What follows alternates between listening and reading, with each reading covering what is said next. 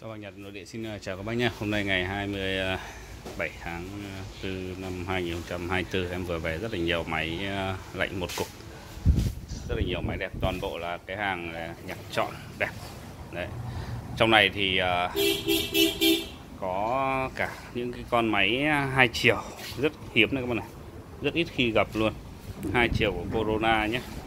Hai chiều nóng lạnh này. Nóng này hút ẩm làm lạnh này rồi các cái con ờ, Corona một chiều rất là đẹp. Kurumi hai con hai chiều luôn. Những con này còn chưa bóc ni lông. Đấy. Corona rất là đẹp này. Đây một con hai chiều nữa các bạn này. Kurumi đây.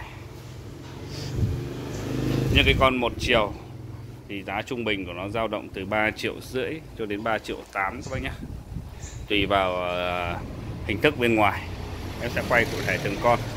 Đây là cái dòng điều hòa một cục làm lạnh dùng cho phòng khoảng à, 15 mét vuông đổ lại.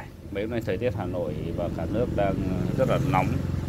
Đấy, hôm nay em lên sóng thì cũng là nghỉ lễ thôi. Mấy hôm nữa thì bác nào có nhu cầu nha Đấy, thì các bác lô cho em. Máy về rất là nhiều toàn máy đẹp thôi. Điện 100V sử dụng cho phòng khoảng 15 mét vuông trở lại chào các bác nhé.